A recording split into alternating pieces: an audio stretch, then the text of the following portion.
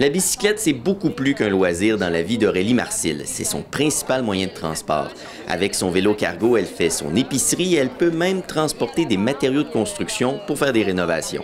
Elle espère que la tenue d'une semaine thématique consacrée au vélo permettra d'éveiller Sherbrooke aux avantages de ce véhicule. On va expliquer aux gens que ça ne demande pas non plus une forme physique des plus impressionnantes pour faire euh, du vélo, pour se déplacer dans notre quotidien à vélo. Donc, ça, va être un moment de démonstration, mais aussi, euh, plus on va en parler, je pense, plus les gens euh, vont être peut-être intéressés à utiliser ce mode de déplacement-là.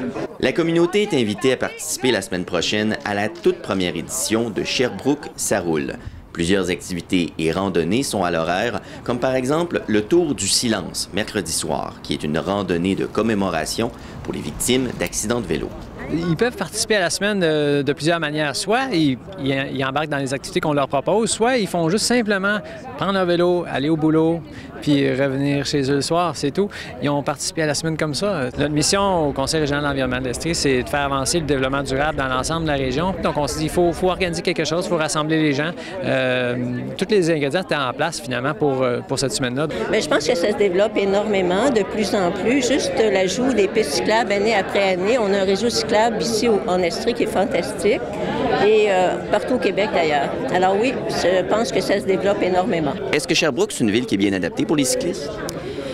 Euh, pas tellement. Disons que c'est beaucoup les cyclistes qu'on doit s'adapter à la ville en tant que telle. Pour ceux qui habitent la ville, qui l'utilisent tous les jours pour se rendre de leur travail jusqu'à chez eux, souvent, c'est effectivement moins adapté. on n'a pas d'axe euh, nord-sud. Vous savez, la capacité de payer des villes est quand même restreinte. Lundi, on va adopter une résolution pour investir 500 000 sur le réseau piétonnier de la ville de Sherbrooke. On investit, bon an, environ 100 000 sur notre réseau piste cyclable aussi. Mais il y a beaucoup plus que ça à faire.